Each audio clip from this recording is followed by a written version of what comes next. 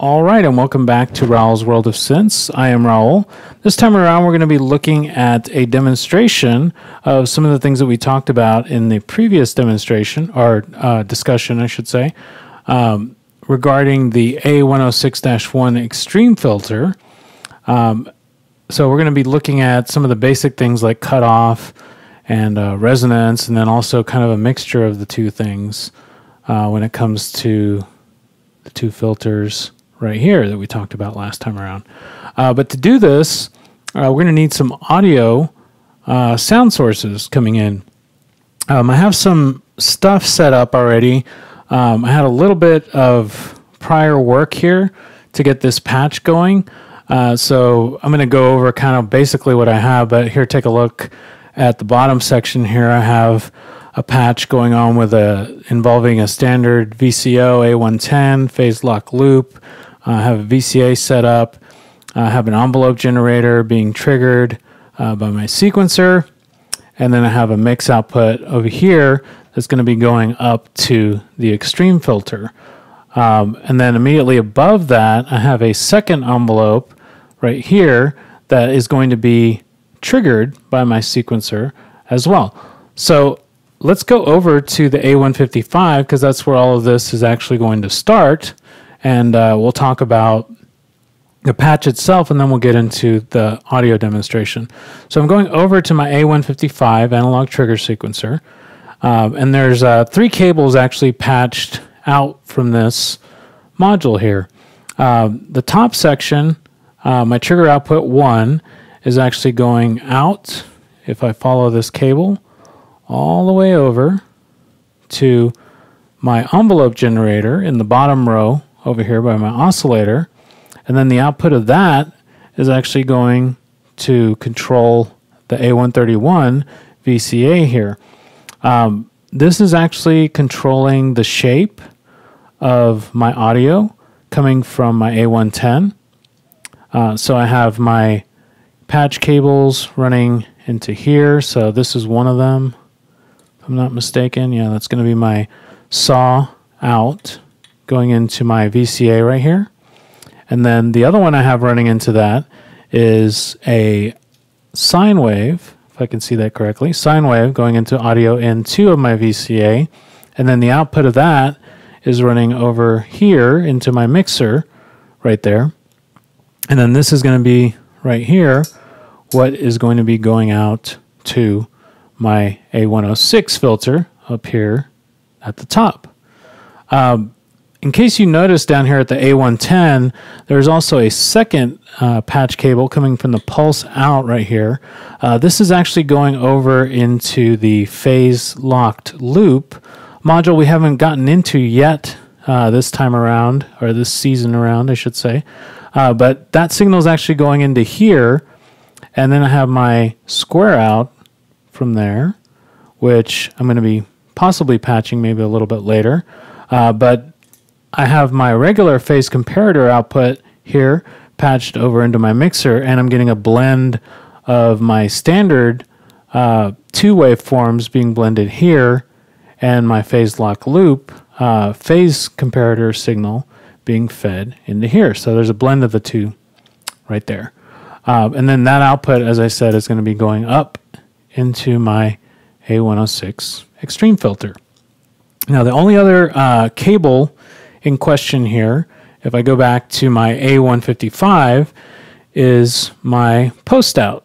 Uh, my post out from my A155 is actually going over into my A110 right here.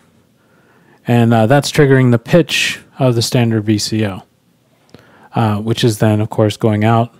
My output's here, going into phase lock loop as well as the VCA over here. So, quick review just for myself as well as you guys. Uh, trigger output 1 on the A155 is going over to the envelope in the lower section right here. Trigger output 3, uh, if I didn't mention it already, is going out and then up and then up into the middle section, getting this envelope here just for a special effect, which we'll hear a little bit later when we do uh, modulation of this module. Um, but that's the setup of the patch. So without further ado, let's get right into the demonstration. So I'm going to take my output here from my mixer, which is mixing my phase lock loop signal and my VCA signal, and I'm going to patch it up into my low pass in, my filter. So that's my uh, filtered sound. I already have my CV being patched over there and everything. And then if I look at my middle section, my envelope um, is going to be used a little bit later on when I start modulating my filter cutoff right now. Uh, but for now, we're going to actually just do a basic demonstration with, with this sound without any modulation going into CV input 1 or 2. So, there you go. Uh, so cutoff, let's just do cutoff real quick.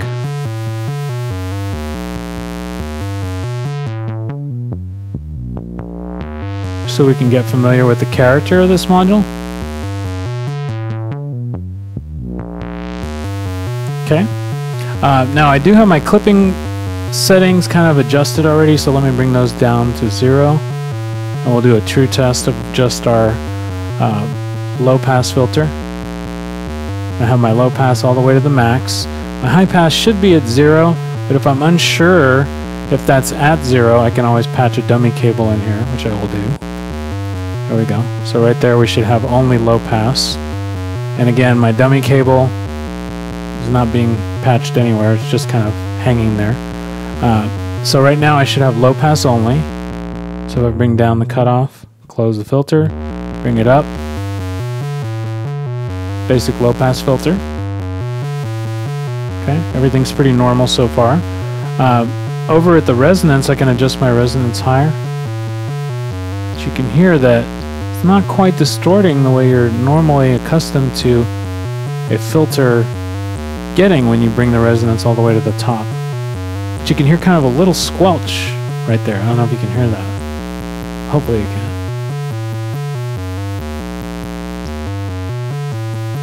But now if I want to enhance this, um, I can sort of add a little mixture of my high pass filter in. Uh, so let me unpatch my dummy cable here. And now I can add maybe some of the positive variety of my high pass filter. Let me adjust my cutoff a little. And there I'm starting to get some more interesting results. Uh, just so we can hear it a little bit better, I'm going to actually bring the positive clipping level up a little bit. Because that'll bring my maximum output out as well. And now you can hear that I am getting a substantial amount more of maximum output. So now I can bring my low pass down a little bit. I can bring my high pass up a little bit. I can adjust my cutoff.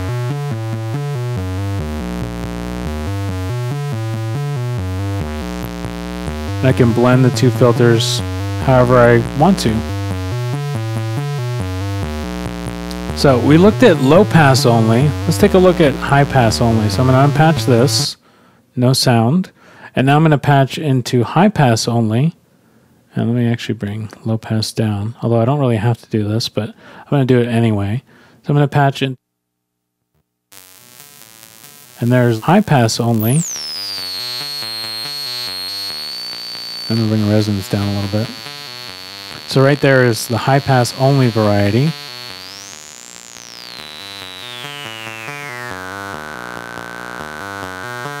Adjust that a little bit.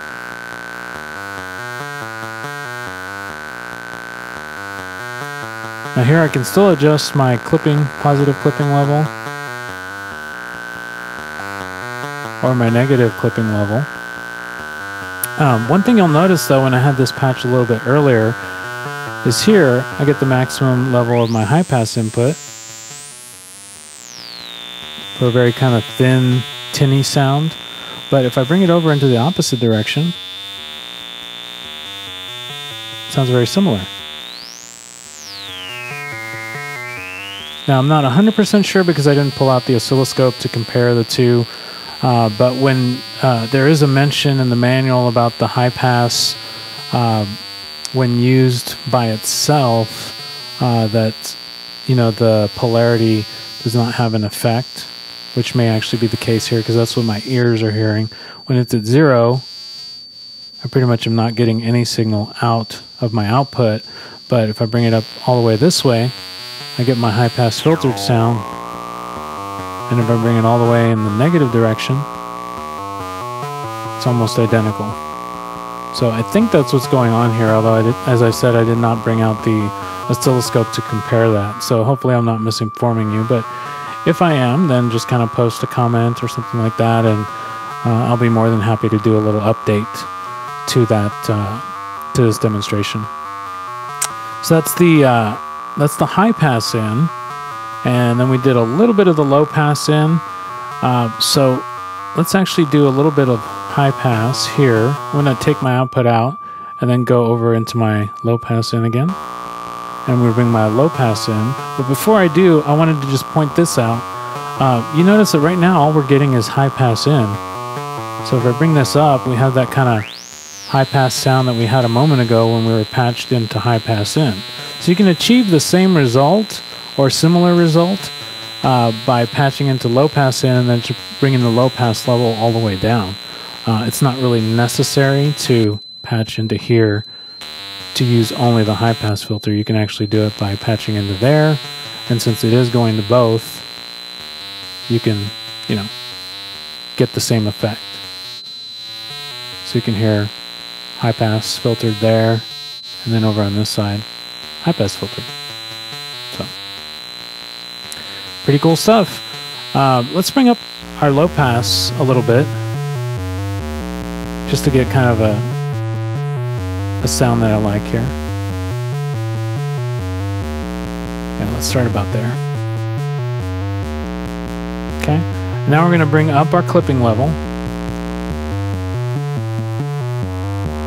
all the way to the max. And this is the positive clipping level, keep in mind, the CL plus. And now let's experiment a little bit with the CL minus as well. We're going to be achieving some very interesting distortion type effects here very shortly.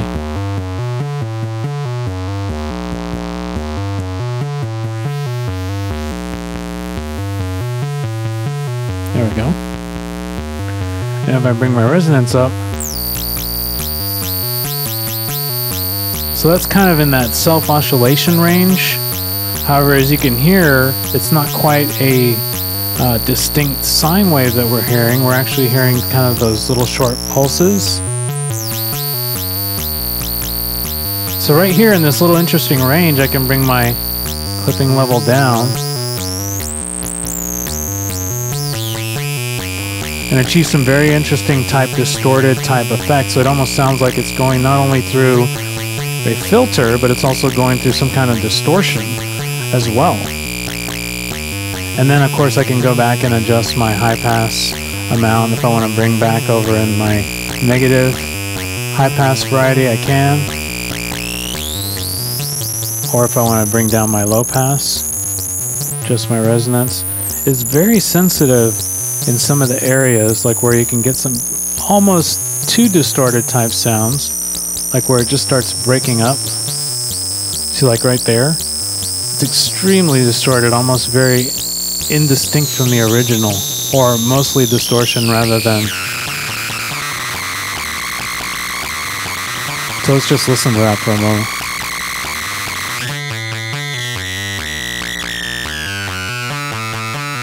But it's a pretty fun filter because you can achieve some not only interesting distortion effects, but very interesting combinations of filter effects as well.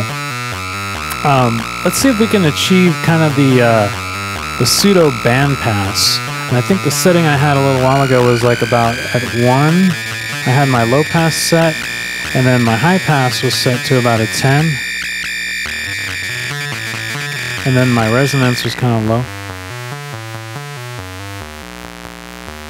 So it's kind of the bandpass, or pseudo bandpass, I guess, where the bass kind of drops off, then the high kind of drops off, and then you kind of have that one little narrow section that's actually passing through.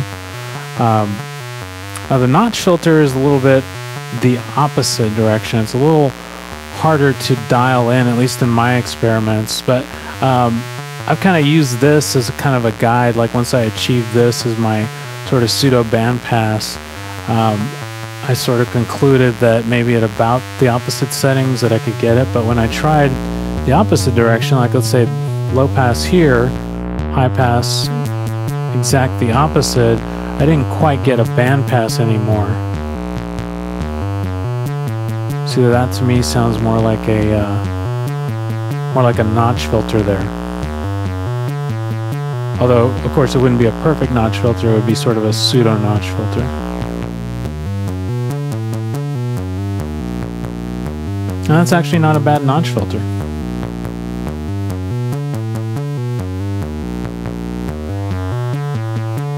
So, just a couple of ways that you can use it. Um, and I think I just kind of happily uh, landed into that uh, pseudo notch filter. I wasn't actually trying to do that. Because um, again, it says, you know, about the polarity of the signals, uh, but you really have to use your ears a little bit more um, when using this one to dial in the right sound that you want to get. Um, now, we kind of went through the basic cutoff, and then we went into a little bit of just the low pass, and then after that we did a little bit of high pass, uh, mixing with low pass, as well as high pass all by itself. Um, we did a little bit of a demonstration of the clipping setting here, all the way into the max, and then achieving some of those kind of crazy distortion effects, kind of like that. And then we also did a little bit of a demonstration of the resonance. So, in the next segment, we're going to actually look a little bit more in depth at some modulation of these settings, um, and possibly, possibly, uh, maybe even doing a little bit of inserting into the resonance over here. Uh, I'll see if I can get that sort of arranged so we can do that. Um, so, thanks for watching for this particular audio demonstration. Uh, keep on patching out there, and hopefully we'll see you shortly. Thanks for watching.